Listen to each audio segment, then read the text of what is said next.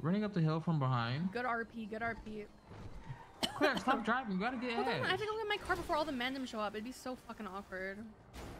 Wait, I'm gonna fucking cry. Uh, it is. Shut up! Bro, that guy's don't like to the del- more left delulu than fucking OTT. just uh, we left though. We're Okay. like, we're like, uh, you know that that park that's like in the north side of Vinewood. We're going to war with the mandem. Don't jump down the hill, Ash. You hear me? No, what do you say? We're going to war with the mandem. We're going.